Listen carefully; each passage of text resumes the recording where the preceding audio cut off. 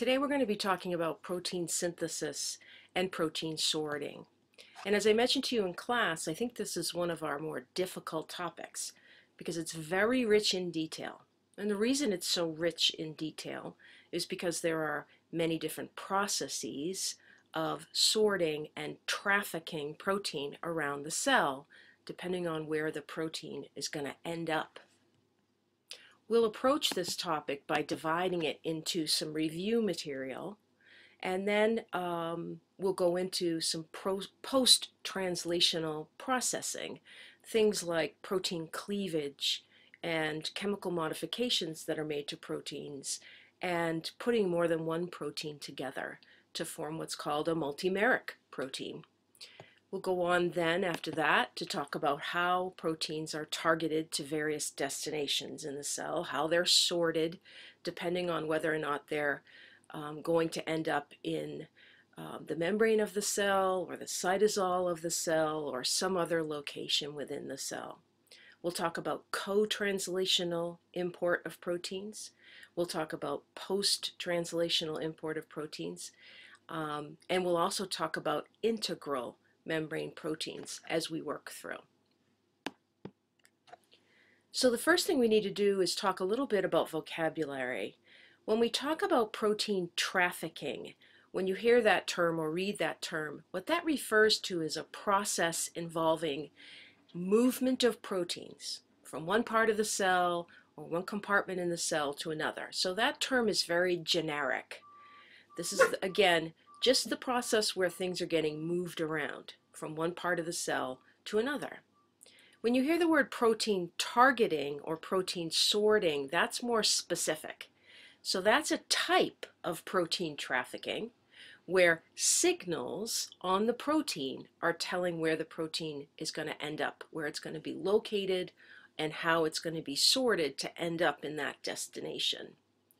So protein trafficking is the more generic term and protein targeting or sorting is the more specific term.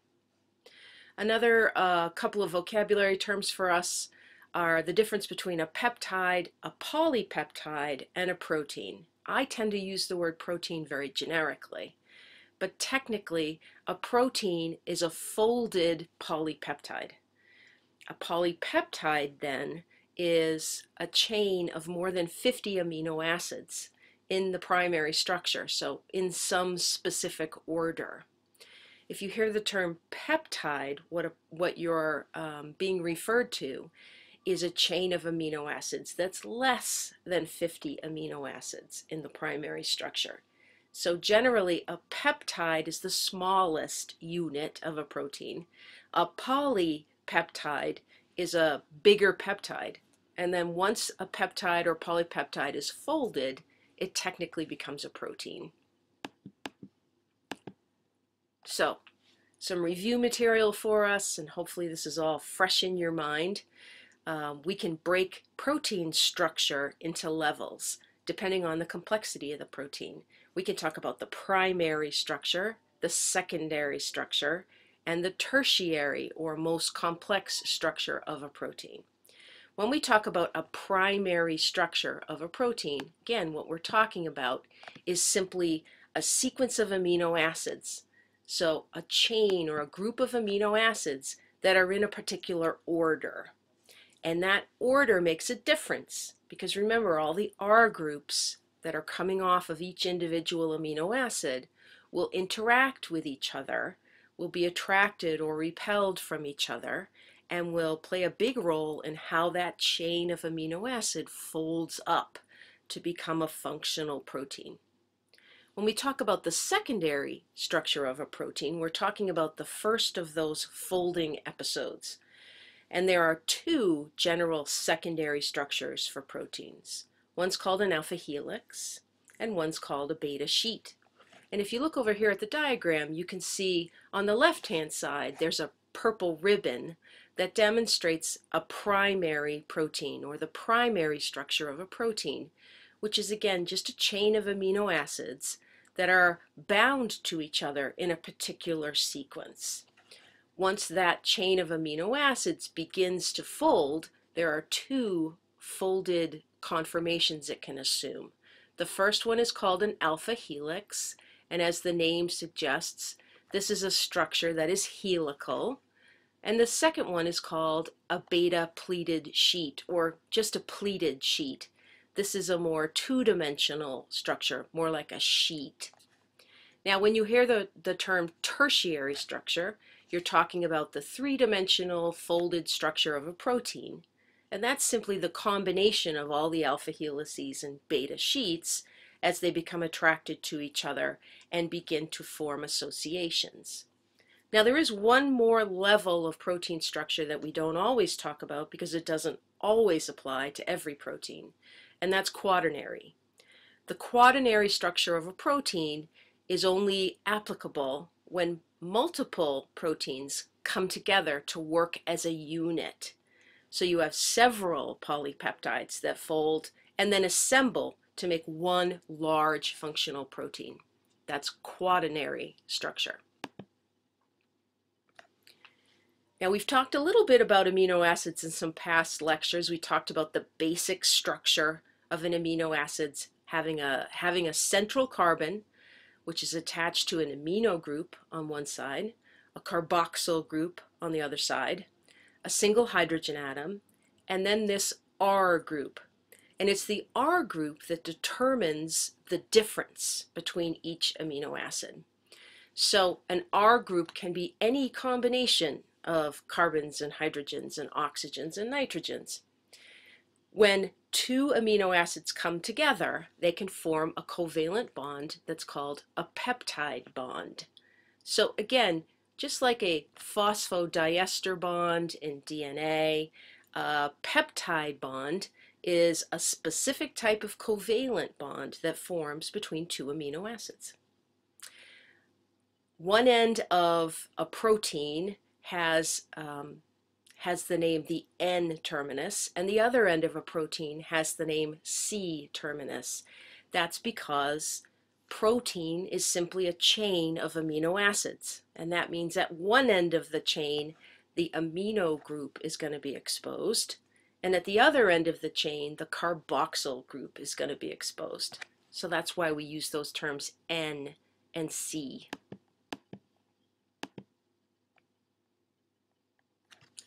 The other thing we should review is the process of translation. Um, and as we did for transcription, we're not going to talk in great detail about translation, just enough to get you started remembering what you've already learned in past courses. And of course, you can refer to old textbooks or to your current textbooks um, if you need to review for yourself in a little more detail the steps of translation. So translation is the process where mRNA or messenger RNA is used to create protein. Remember the central dogma that DNA is transcribed to mRNA, that mRNA is translated into protein, and that protein then composes the traits, creates the traits that make up the phenotype of the organism. So after transcription occurs, the mRNA, at least in a eukaryote, has to get out of the nucleus and into the cytoplasm for translation. And of course, that's going to happen in, through our old friend, the nuclear pore complex. Once it's in the cytoplasm, the ribosome needs to interact with the mRNA in order to begin the process of translation. Remember that ribosomes are not technically organelles because they're not enclosed by a membrane, but they are critical players in the flow of information in a cell because they guide this process called translation. Ribosomes are composed of protein and also a type of RNA called rRNA. And ribosomes have two subunits. They have a small subunit and a large subunit. The small subunit contains the site where the mRNA will bind. And the large subunit contains the catalytic or active site to make peptide bonds between individual amino acids. So the mRNA binds to the ribosome, and then the ribosome quite literally travels down the length of the mRNA, exposing individual codons one at a time. Now remember, the codon is a unit of three bases on mRNA. Um, as each individual codon is exposed by the large subunit, the tRNA, specifically charged tRNAs, are going to come in and match up anticodon to codon, the correct amino acid that belongs at that spot in the protein. Within the large subunit, there are these hollow channels where these charged tRNAs will move one after the other, like an assembly line, in order to get that amino acid bound to the growing chain of protein. The first channel is called the aminoacyl site, that's the A site. The second one is called the peptidyl site, or the P site, and the last one is called the exit site, or the E site. Individual charged tRNAs come in, bind to the A site, then get shifted over into the P site, where the peptide bond will be formed, then shifted over into the E site, where they will eventually exit the ribosome and go back to become charged once again. So the three bases in the codon on the mRNA are going to form complementary bonds with the three bases in the anticodon on the tRNA. New amino acids are going to join together with peptide bonds to uh, create this chain of growing protein. After one amino acid comes in, the ribosome is literally going to move to the next codon. That's a process that we call translocation. Eventually, we'll get to the end of the mRNA, and that will be the stop codon. And the stop codon will signal a, um, a release factor to enter into the large subunit of the ribosome. And that release factor looks just like any other tRNA except it doesn't have an amino acid attached to it. So that will be the termination signal for the end of translation. This is a an image that I like because it shows the whole process of transcription and translation on one slide. So this is obviously a eukaryotic cell because there's a nucleus in the purple area and cytoplasm in the orangey peach area. And as you can see, we've got an mRNA here that's been processed. Remember, that means that the introns have been removed and the exons have been spliced together. We've got a tail, a poly A tail, and um, a cap on uh, either end of the mRNA. It's coming through the nuclear pore complex and out into the cytoplasm. We have the individual components of the ribosome in brown. We have the small subunit and the large subunit. Remember, it's the small subunit that's originally going to bind to the RNA, and then the large subunit will come in and join. And as you can see, the uh, ribosome will then um, function to align each tRNA, shown in green, with the appropriate uh, codon so that the tRNA can bring in a purple amino acid and join it to the growing chain of protein. Now, a couple other points to remember.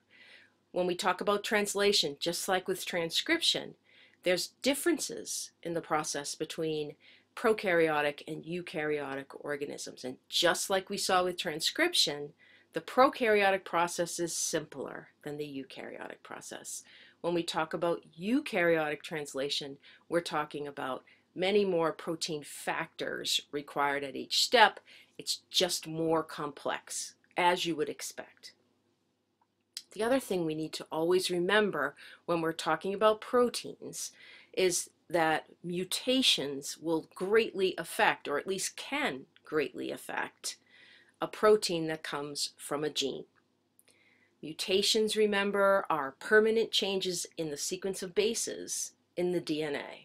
So they alter the DNA. And that happens whenever a cell is preparing to divide and the DNA is replicated. If a mutation persists, if it becomes permanent, that DNA then has a new sequence. And that means that the mRNA that's made from that DNA is going to have a new sequence. And depending on how significant the mutation is, that change in the mRNA might produce a change in the protein. Um, if you can remember back to um, Bio 110 and evolution, we talked about two different large classes of mutations. We talked about point mutations and chromosomal level mutations. Point mutations, that, that term point means single base, single base mutations. And these, of course, can be base substitutions or insertions and deletions of a single base. And depending on where that base, that single base, is altered, sometimes the codon will be changed enough so that the protein will be different. A new amino acid will be inserted at that codon.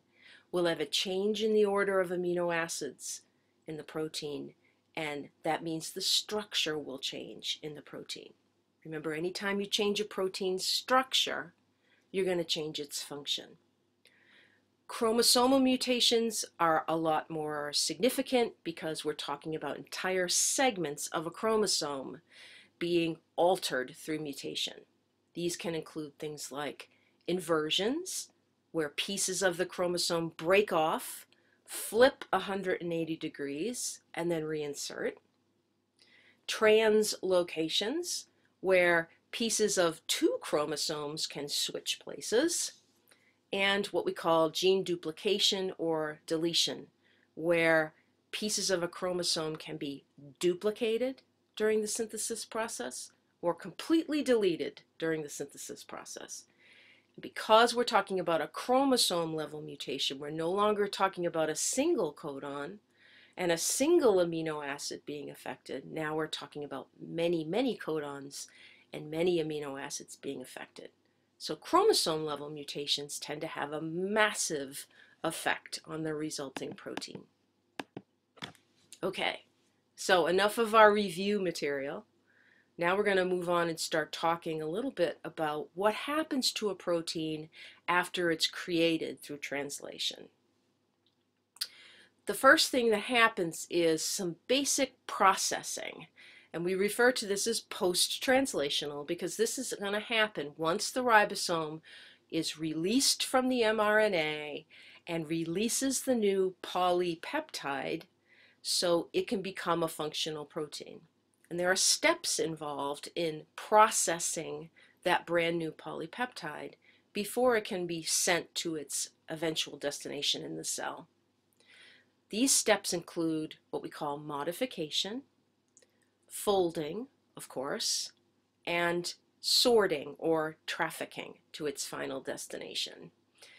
Now, the organelles that do the work of post, post-translational processing involve the endoplasmic reticulum, or the ER, the Golgi apparatus, remember, which is situated right next to the ER, and various transport vesicles, which remember are just little um, sacs of uh, membrane that will literally transport or carry proteins as they travel from one place